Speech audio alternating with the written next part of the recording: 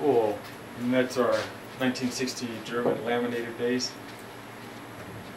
A little delaminated, a little you know ugliness to it, but hey, it's a 50-year-old German laminated bass. There you go.